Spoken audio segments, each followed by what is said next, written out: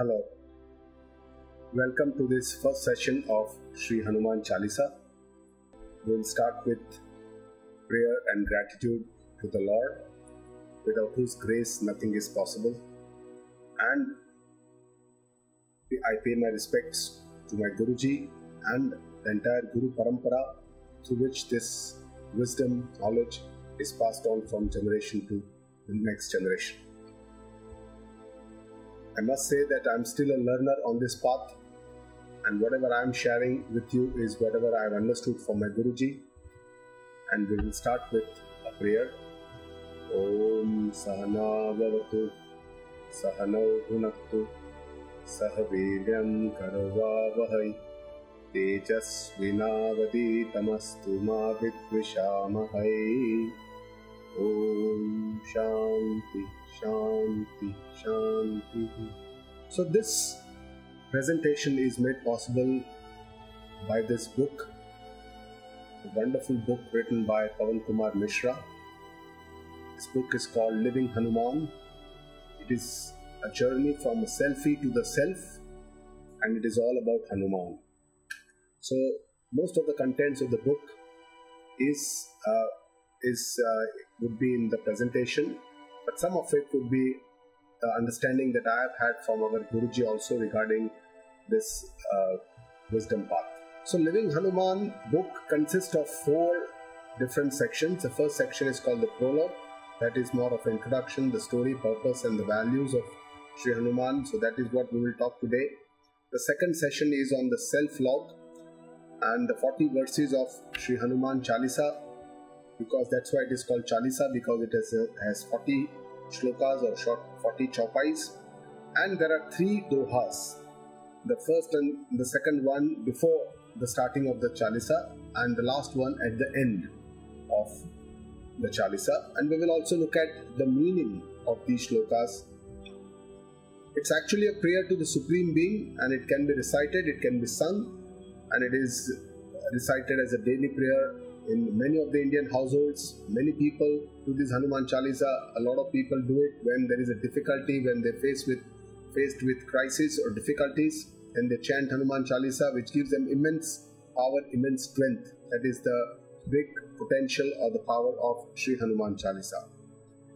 And the third part of the book, it, it uh, you know, it's it, it's a dialogue between the other traditional traditions or the you know the spiritual paths followed by other religions and the final one is the epilogue i value. So sri hanuman chalisa is created by goswami tulsidasa as a mantra as shlokas or as sacred hymns. And it is part of the ram charita manasa which was written almost 500 years ago in the 16th century as sacred hymns.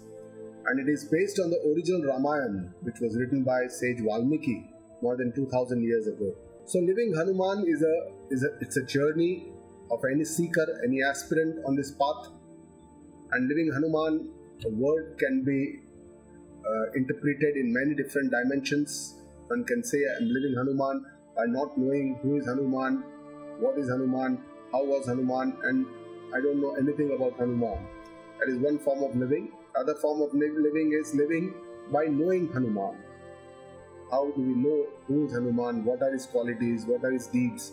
And what can I learn from Hanuman? So the third way of living is a more evolved way, which is living with knowing Hanuman.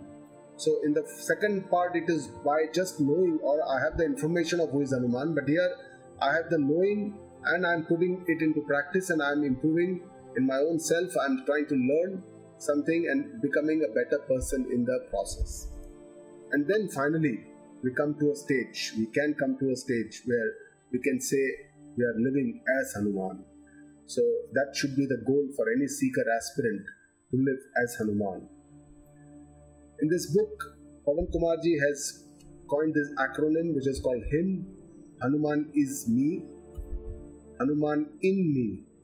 It could mean also happiness is me, he is me, or he in me. So these are the different ways it can be interpreted. So talking about Ramayana, Ramayana is the story uh, of uh, it's an epic. Ramayana is an epic.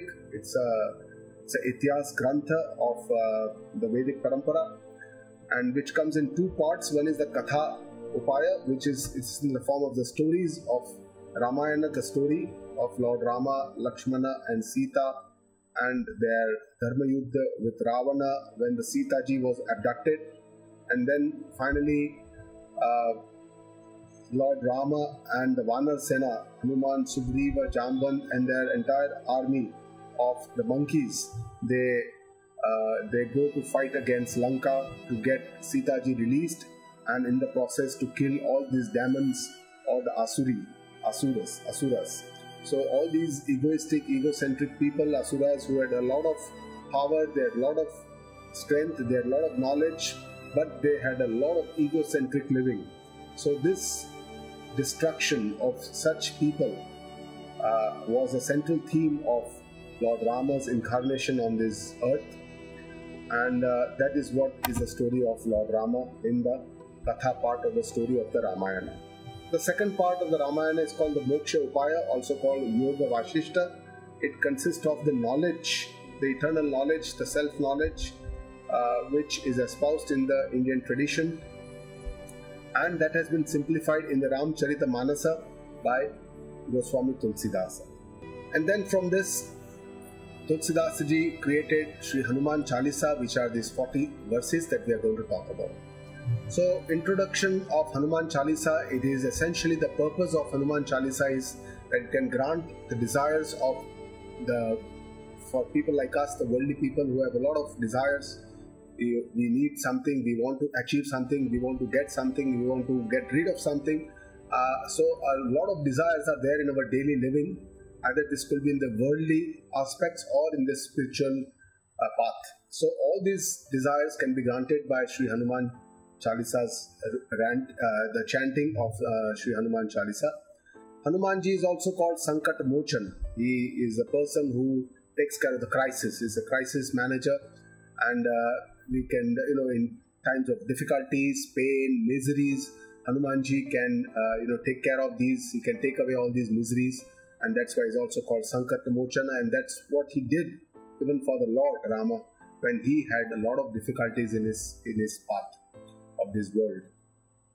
It's a gem for practical guidance in life. It contains a lot of hidden messages which can be used in our day to day living. It is not something esoteric, it is not something beyond this world. It is something which we can use in our daily living, and that essence, that message we need to capture for our daily living and daily practice. So essentially consists of 43 verses, and it's similar to the third adhyaya of Bhagavad Gita. Srimad Bhagavad Gita, third adhyaya consists of Karma Yoga. It talks about the person who is who knows how to do his actions in the most skillful way with an attitude, with a certain attitude where he does not get bound or does not get bind to the karma.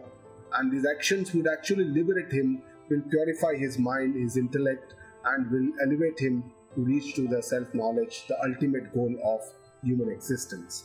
So, this has a lot of similarity between the two. Currently, I am also learning and uh, you know understanding the third adhyaya of the Bhagavad Gita, all these attitudes of karma yoga, so which I can assimilate the, both the Hanuman, Hanuman, uh, the qualities of Sri Hanuman and the karma yoga, or what Lord Krishna tells about the qualities of a karma yogi. So there is a lot of similarities between these two, and I'll talk about it when it comes to the shlokas. So the main purpose of Hanuman Chalisa is to become one with the universal consciousness, and this is the central theme of all the Vedas, Upanishads, and all the scriptures. There is one central goal, which is the goal, central goal of the human existence or the human life, for that matter, and that is to that we should feel the oneness with the universal consciousness. So there is only one goal in the Indian tradition uh, the Vedas and the Upanishads tell us that there is only one goal, and that is attainment of our own self knowledge, the eternal understanding of the consciousness, and that itself gives us uh, the freedom, the liberation from all these pains, miseries, and happiness, and from the rebirth of different, uh, you know, births and lives, the cycle of birth and life. From all these, we get freed, and this is called moksha in the Indian tradition and there are many many ways to reach this goal. You know some people who have who are action oriented people will go through the karma yoga marga. They will be rooted in action and they will do it in a, such a skillful way that they can get liberated with the with these actions. And the second type of people who have orientation towards devotion or bhakti. So that is a bhakti marga of the tradition where they can devote themselves to the lord surrender themselves to the lord and attain the ultimate knowledge and the third is the Jnana Marga, people who are deeply rooted in the knowledge tradition. They are the people who may live in the in the household, that is the gruhastha, or they may sannyasa, they may leave the household, renunciate the household, and they can go take a sannyasa or they can, you know, live uh, a hermit life and they can attain this, do this uh, Jnana or the Jnana Marga and ultimately reach to the final goal. So there are very many many ways of reaching this goal. According to the Indian tradition, there are many roads, but the goal is one it is the ultimate knowledge, self knowledge, and that is the most important goal to be reached. And the most important lesson that we learn from this tradition is that it is our own ownership of our own journey of life. So, karma is the most important. We have to take the responsibility of our own journey, whether it is the outward journey, in the worldly, or whether it is an inner journey, the spiritual journey. But that responsibility, we have to accept that because it's only our power to change ourselves. It, uh, you know, there is no other power which can change us, and we don't have any power to change others. And that's why we have to accept the responsibility on our own shoulders. So Hanuman Chalisa can help us in both these journeys, the worldly journey or the spiritual journey, and it can give us a good balance between the both. While we live our worldly journey, how can we remain spiritual from inside? In the sense be connected to our source or our soul or our atman or our roots. And at the same time you know live a worldly life. Or else when we are doing our spiritual work or our spiritual practices how can we connect ourselves to the, the, the ultimate consciousness? And how can we attain that bliss uh, so this is what hanuman chalisa shows us so hanuman chalisa is essentially for the seeker on the path of ascent who goes who's going towards self-realization, who is awake to all the human values like love, compassion, contentment, gratitude, and joy. So all these are the you know the good qualities that we must have if we are on this path, because that will only help us to you know gain progress on this path.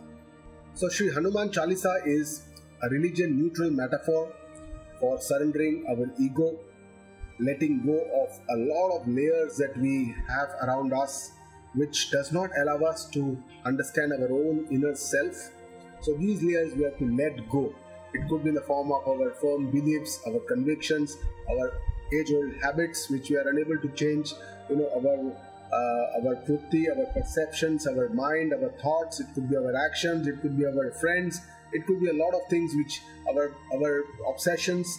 A lot of things which we have to let go, and then we have to let in God because unless we let go of our ego and our bad virtues or bad qualities, good qualities or God itself would not be able to come in and sit in our our uh, inner self, and that's what is the very very important part to understand in this journey. Embodiment of the life force is actually the breath, which is the life force for us. So Hanumanji is the embodiment of the life force because he is a Vayuputra, Pavanputra, and breath and the mind is intricately connected to each other. So in all all of us, he embodies the life force, and by the life force connecting to our mind. So he's a symbol of life which is lived in active compassion, total surrender, and service to the universe. So that is a central theme of Sri Hanumanji is total surrender to the Lord, and he's in the service of Lord Sita, uh, Sri Sita Ji, who represents the the universe or the mother nature. For the seeker, it will help to achieve his or her goals in life and it can help us to achieve the liberation or the freedom or mukti or the moksha that we all eternally desire. So Hanumanji, as you all know, is a divine monkey, is considered to be the incarnation of Shiva, the 11th Rudra in a fierce Swarup, which is a Swarupa of the destroyer. And he is a life force for as is, you know, he, he uh, he represents breath in all of us because life force, the wind is the universal life force, but for an individual person, the breath is the individual life force in all of us. So when Vishnuji, Lord Vishnu, incarnated as Lord Rama on this earth with a mission to destroy the demons like Sri Ravana and the other demons to serve Rama, Shiva incarnated as Hanuman. So this is how you know it says that uh, Hanumanji represents Shiva's incarnation.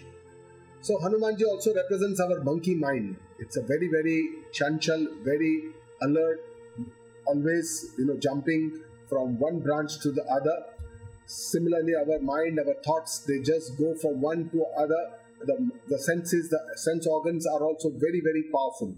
So this is one of the major problems that we face that does not allow us to focus, concentrate, you know, meditate, aware, being aware of our breath. All this is not possible because of this monkey mind or our very, very alert, chanchal, very active. So we have to tame this monkey mind, which is always going outside. The sense organs also go outside and they just take the mind also outside. So that is the nature of the sense organs because all the vishayas or the objects are outside and that's how this this mind is more like going outside.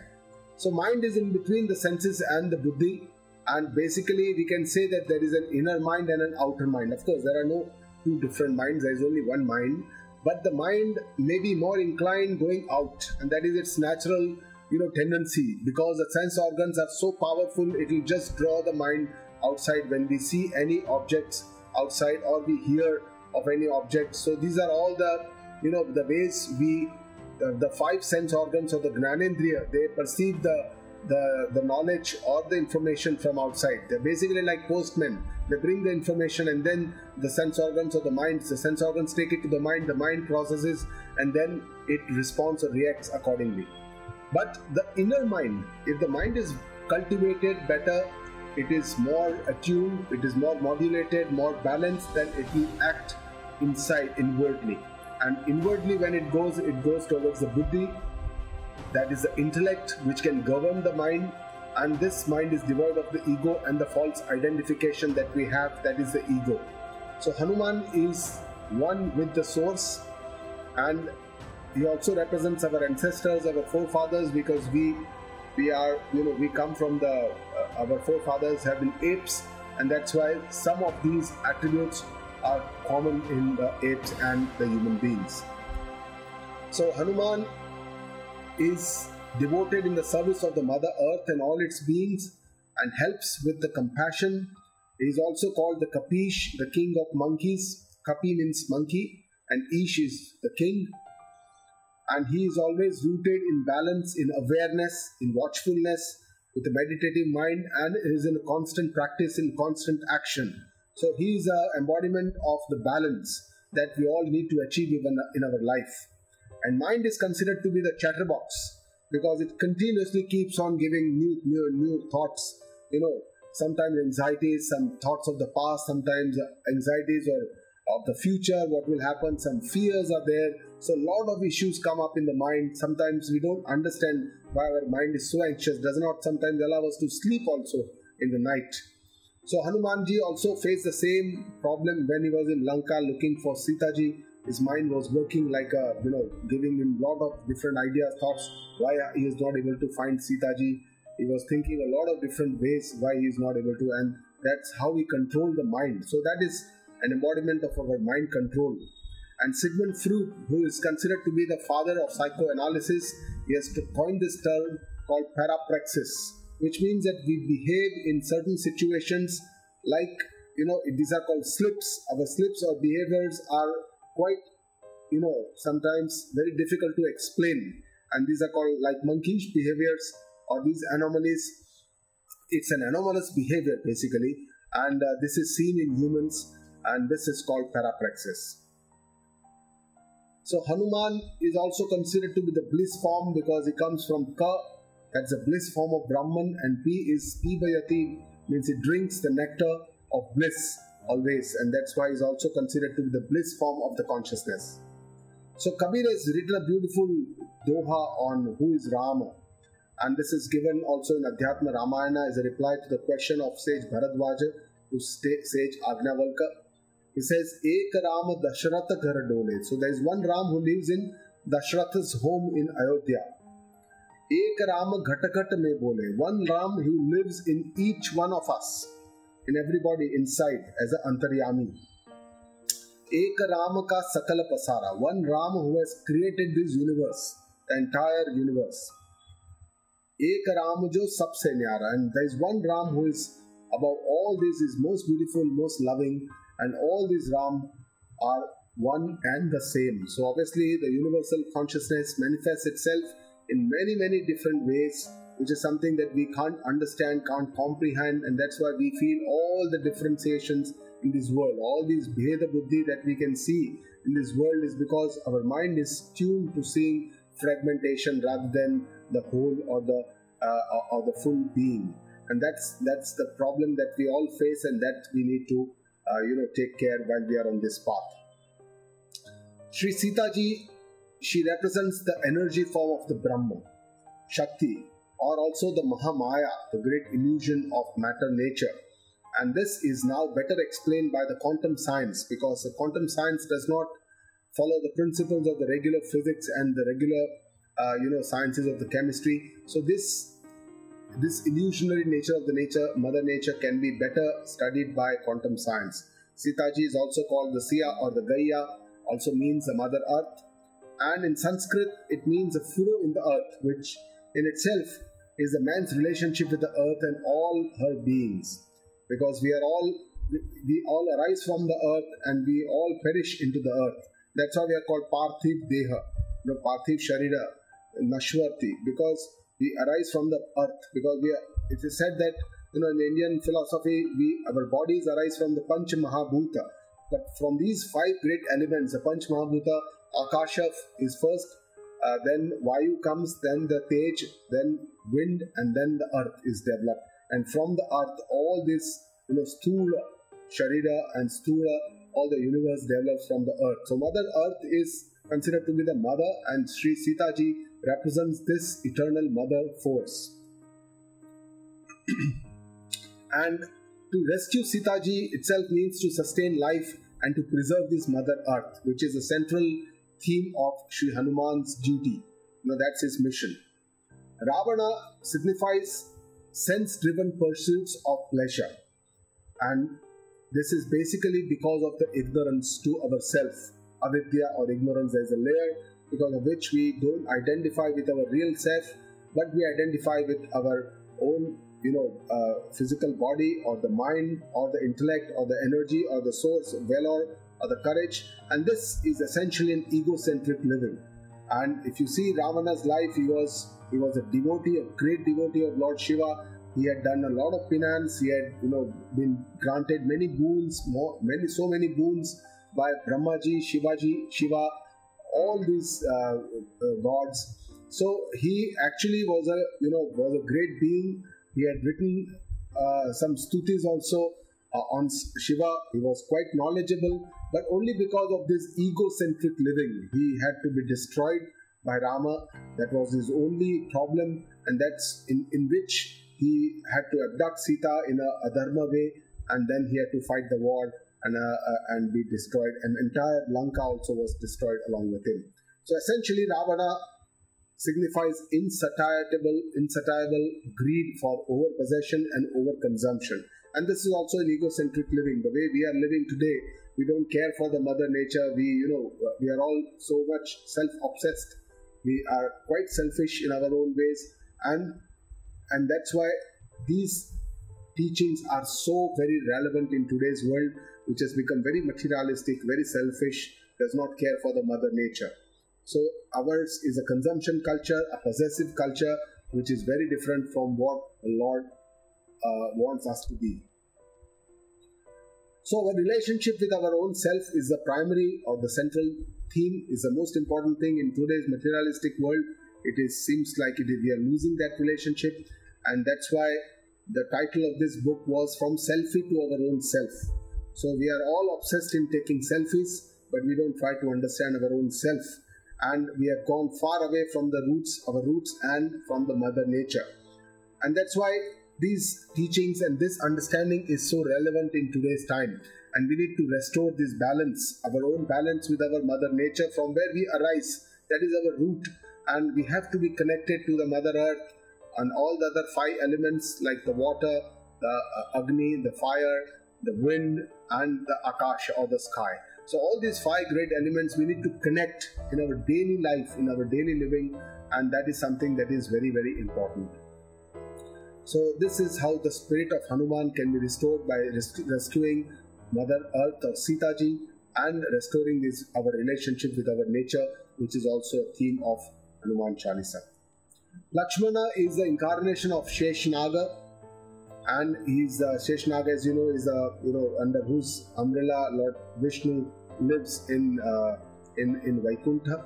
So he's the jiva or the individual consciousness. Lakshmana represents jiva because he's identified with his body, mind, and ego, but in a very subtle and a sattvic way. Is not a you know rajasic or a tamasic kind of a prakriti.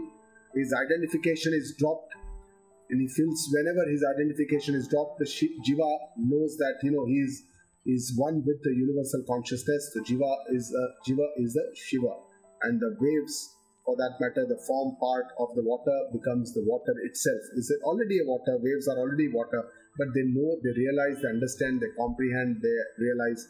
Realization happens that they are the same water from where this, you know, the ocean comes. So essentially, it's the oneness that one has to feel.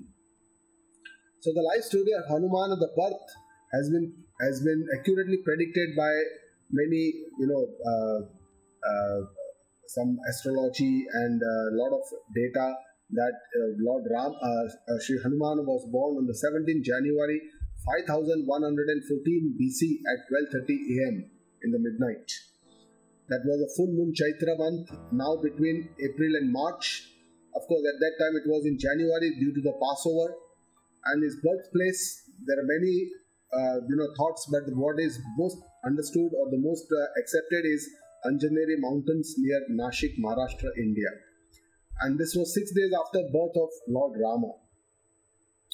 Chronology of Ramayana has been well depicted in this book on the page number 50th, how Ravana abducted Sri Sitaji uh, in the December of 5077 BC and uh, then September of the next year Hanumanji meets Sitaji in Lanka when Hanumanji re- reaches, and then there is a war battle between Ravana and uh, uh, uh, and the Vanar Sena, which lasted from 21st November to 4th December when Ravana was killed, and then finally on the 30th December 5076, Sri Rama comes back and meets Bharata at Nandigram, uh, close to Ayodhya. So this is the entire chronology of the Ramayana. So birth of Sri Hanumana has been there are many many stories and uh, you know uh, about uh, the birth of Sri Hanumana mentioned in Ananda Ramayana. There are many types of Ramayana also. So it is said that there was a celestial dancer called Suvarachala who became a sea hawk or a vulture, and the king Dashratha, who did not have offsprings, was doing a yagna, a penance or a, a or a sacrifice, sacrificial fire and the prasad that we get from the yagna was to be distributed in all the three queens so that they would bear uh, an, an, offspring. Now, what happened was Suvarachala took the prasad from Kaikeyi and uh, she placed it into the hands of Anjana. Anjana was a Vanara queen who was in Pinance near Anjaneri mountains in Maharashtra, in Nasik and then that's how Hanumanji was born. So this is one of the. So he's also considered half brother of Bharata. In the verse 12, also uh, uh, it is said that Tuma Bharata Mama Sahib Hai. Basically, it says that Bharata is like a half brother of Hanumana because they were both born through the same seeds of conception, which was taken away from Kaikeyi and placed into the hands of Anjana.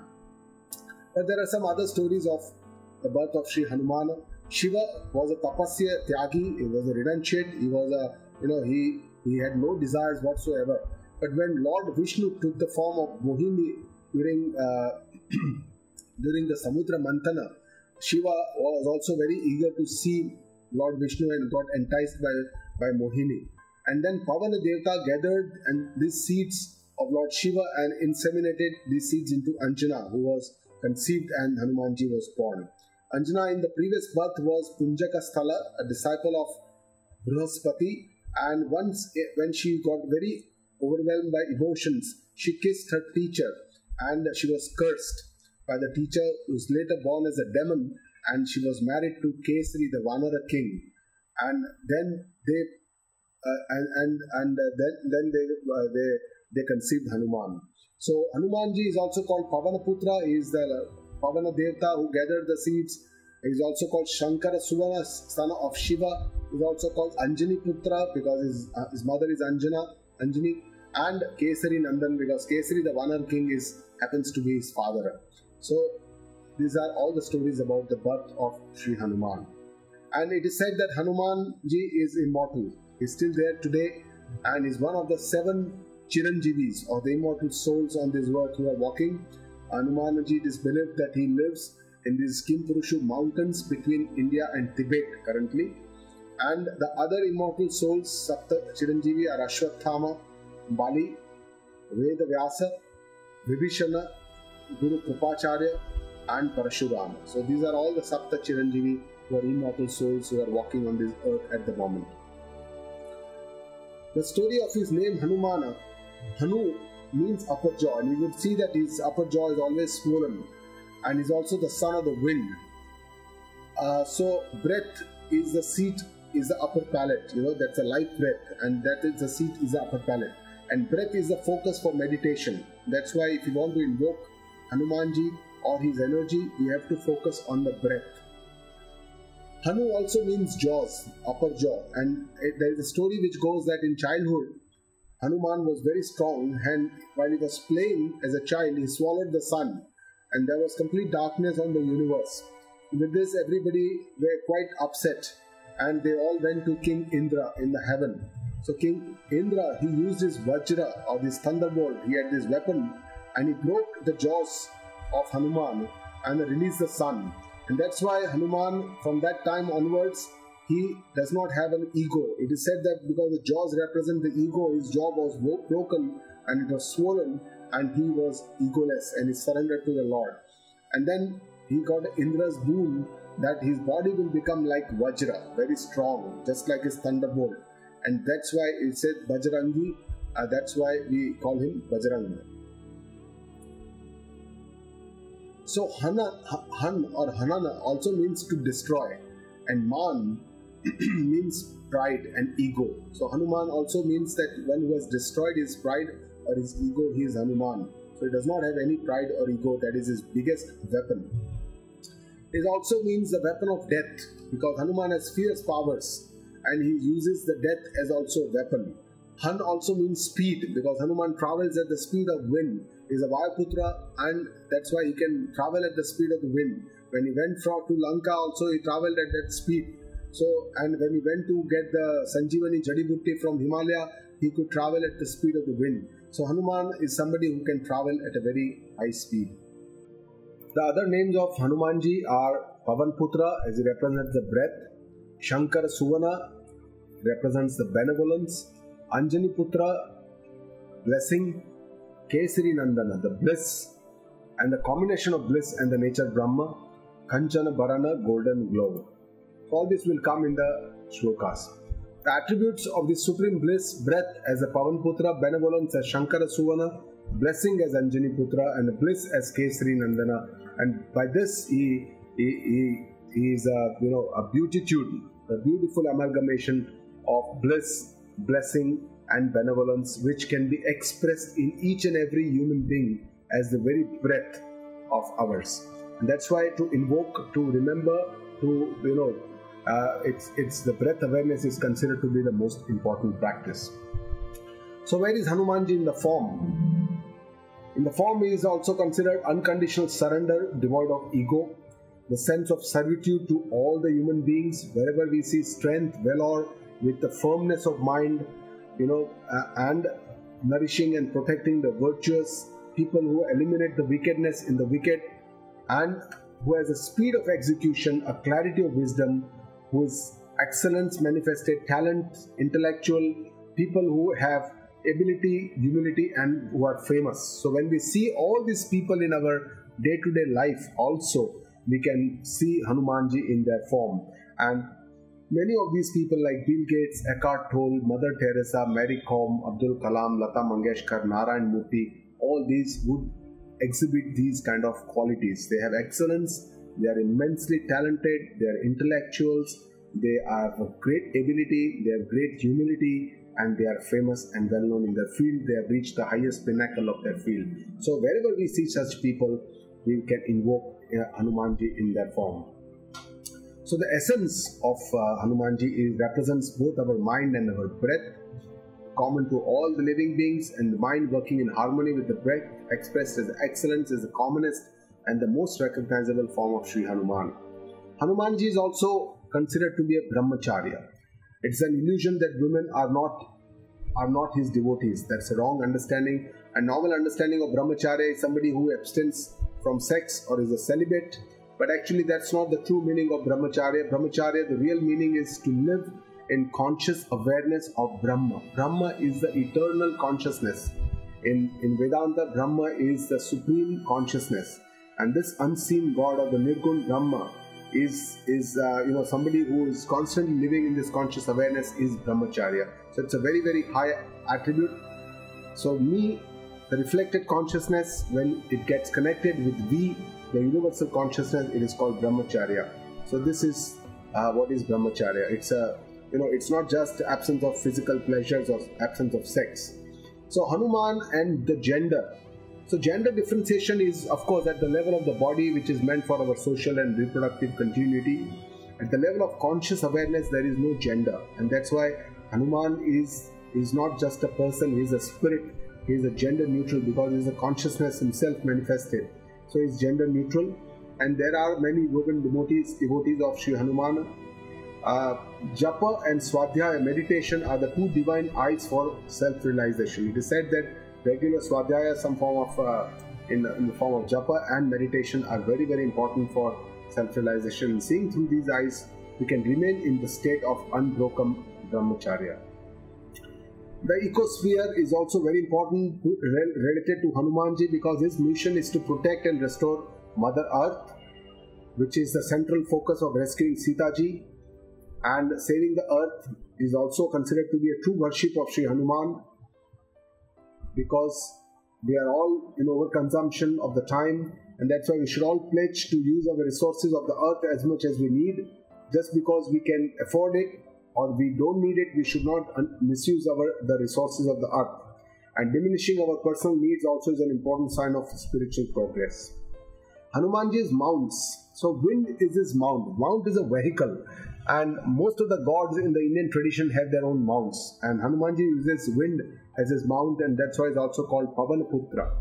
He controls. So, if you want to control somebody, you have to control the vehicle that the person is mounting. Then you can control either you can increase or you can reduce the speed. So that's how you can control the rider by controlling the vehicle. And that's why to control the wind, we have to control our or be aware of our breath. So individual breath represents the wind, and that awareness is a very important spiritual practice breath awareness, which is now considered in most of the traditions, breath awareness is considered to be a very important spiritual practice. And breath is intricately connected to our mind and senses. So the moment we are aware of our breath, the mind quietens down, quietens down, the thoughts come down, and the mind becomes in a much more harmonious way. And then we can enter into a state of meditation or we can enter into the silence. So, how the objects, when we see through the senses, the indriya, the prana, the breath, and then the mind connected with the ego, our intellect, and that is all intricately connected to the consciousness. So, consciousness, so all this can be controlled by the consciousness. So, everything has a mount, you know, objects are mounted on the senses, the senses mount on the prana, mounts on the mind, the vehicle for the ego and the intellect. So, ultimately, it's the consciousness we can control through all these, uh, the consciousness through our intellect and our uh, with our intellect only we can understand and control and modulate of our mind, which can in turn control our senses, Indriya Sanyam, breath control, everything is possible. So access to Sri Hanuman is through our breath, easily accessible for all of us, and that can give us conscious joyfulness and firmness of purpose. Pranayama and yoga is also one practice of breath awareness that is followed in the Indian tradition in the yoga method. Omkar is one of the pranayama where we chant the Om which is a universal sound which contains a, u, and ma, the, the trilogy. Uh, the Bhramari, where we close our nostrils and the mouth and uh, even the ears, and then there is a you know a humming sound inside the mind. Bhramari Pranayama, there is Ujjaya with through you know with the closed glottis we deeply inspire and deeply expire. That is Ujjayi kind of a pranayama. Kapal Bhati is forced expiration after a deep inspiration. Then Bhastrika Pranayama, where there are multiple repeated forced expiration and inspiration done. So and finally Anulom Vilom Pranayama, where the two nadis, the the Surya Nadi and the Chandra Nadi or the Pingala and the Id are also uh, taken care. of. Initially, the Shodhan of the Nadis is done by closing one nostril and then finally uh, there is Anulom Vilom where uh, one after the other we close one nostril, take a deep breath from one side, release it from the other side. So this brings our the Sushumna Nadi in, uh, a proper alignment so that our mind gets modulated and our Kundalini Shakti that gets gets activated, which is uh, hidden uh, in our uh, in our being. So, finally, who is Hanuman? And Ram asked this question to Hanuman himself Who are you? And Hanuman gave a brilliant answer, beautiful answer. So we'll come to that. Before that, if somebody asks us, Who are you? What will I say? Somebody asks me, Who are you? I'll say, I am Sanjiv. I mean, we are all identified with our name, our form, uh, at the most our profession, our family, and uh, and that's how we understand our own self of who we are. But spiritual journey is changing this perception, our own perception of our own self that has to change and all the change in on this path has to be done inside. There's nothing that to be changed outside. And uh, uh, we have to accept that responsibility for our change and then keep on walking on this path. Find a guru who can guide us, who can show us the path, who can show us the light. And then we have to keep walking on this path that the guru shows Charai Veti, Charai Veti means continue walking, continue walking. And slowly there would be a perceptible change. But that is, it will come slowly because our old habits are so steadfast, they are so strong. To change them requires a lot of awareness, a lot of perseverance, a lot of patience. And then, in, as Lord Krishna says, Shanaihi, Shanaihi Uparame. When slowly, slowly, slowly things will be able to uh, get back in slowly, slowly will feel the change. so, what did Hanumanji answer? When Ram asked Hanuman, Who are you? In Hanumat Pancharatana Adi Shankara, let's describe this beautiful shloka how Hanuman answers. And it is said that this was when the Hanuman and Ram met for the first time. This question was asked, but some people say that this was asked much later on when already Hanumanji was a devotee of Ram. Suddenly one day Ram asked, Who are you? And Hanuman says, Deha buddhyas buddhya to dasosmi. With the perception of the body, I am your servant. So he says, you know, we all have different perceptions. With the perception of my body, I am your servant.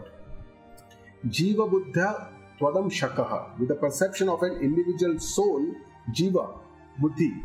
I am part of you. You are the whole, I am a part of you. So that is how I relate with yourself. That is my uh, my uh, uh, understanding of my own self.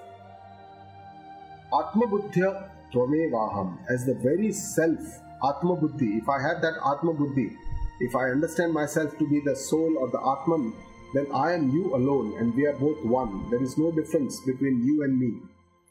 Iti me nishchita matim. This is my firm conviction. So it's a beautiful uh, uh, doha. It says Deha buddhya tu dasosmi, jiva buddhya vadam shakaha, atma buddhya vame vaham. Iti me nishchita matim. It's a beautiful answer that Hanumanji says. That itself shows how knowledgeable he is, how understanding, what a kind of understanding he has it's a deep understanding with the ultimate knowledge. And this knowledge is Advaita Vedanta, that knowledge itself, the supreme or the, the, the final knowledge, the climax of the Vedanta is this Mahavakya, uh, there are four Mahavakyas. One of them is Tat Tvam Asi, Ayam Atma Brahma, Prajnanam Brahma. Uh, these are the other Mahavakyas. And it actually gives very good, beautiful, simple examples and teaches us how we can understand this this uh, you know philosophy or this reality for that matter uh, taranga and sadar the, the waves and the ocean how they relate with each other so Deha Buddhi or Jiva Buddhi, how do you focus on the waves? We focus on the waves. The waves have a form, they have a noise, they come, they go.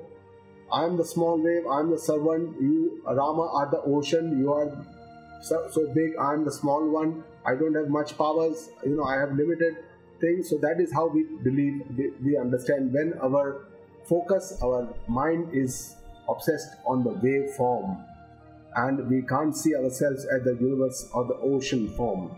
But if we are a Tattva Buddhi or the Atma Buddhi, what is it said? Then with this understanding, with this perception, we are focused on the water or the substance behind the wave. So that substance is the water. Wave is also made up of water. Ocean is also made up of water.